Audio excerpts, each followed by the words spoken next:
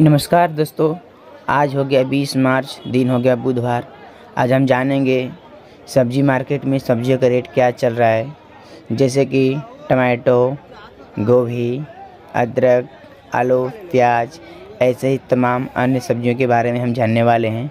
और आप लोग से एक रिक्वेस्ट है कि आप लोग इस वीडियो को पहली बार देख रहे हो पहले से देख रहे हो या हमारे पुराने सब्सक्राइबर हो तो भाई प्लीज़ इस वीडियो को पूरा देखना। क्योंकि भाई हम थोड़ा लेट वीडियो डाल रहे हैं। काफ़ी दिनों से वीडियो नहीं डाल रहे थे। कुछ प्रॉब्लम में फंसा था, इसके लिए सॉरी चाह सॉरी चाहते हैं।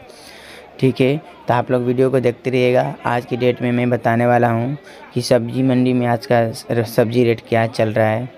हर सब्ज़ियाँ आपको दिखाऊँगा, तमाम सब्ज़ियाँ दिखाऊँगा, अच्छी अच्छी क्वालिटी दिखाऊँगा कि सब्ज़ियों का रेट क्या चल रहा है। ठीक है तो आप लोग वीडियो में बने रहिएगा। चलिए हम वीडियो स्टार्ट करते हैं।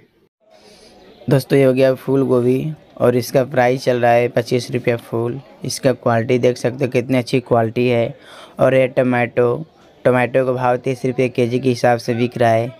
आप लोग इसका भी क्वालिटी देख सकते हो कितनी अच्छी क्वालिटी है। तीस रुपये के जी के हिसाब से बिक रहा है।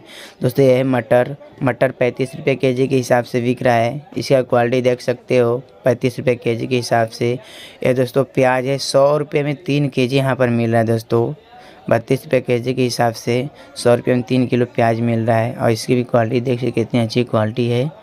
और प्याज का रेट बता दिए। अब हमको बताएँगे अदरक का भाव कैसे है, पचास रुपये के जी के हिसाब से अदरक भाव मिल रहा है, पालक दस रुपये, गड्ढा के हिसाब से मिल रहा है।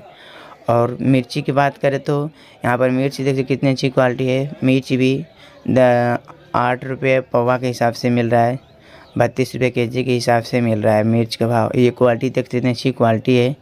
ठीक है? तो यहीं पे वीडियो समाप्त करते हैं।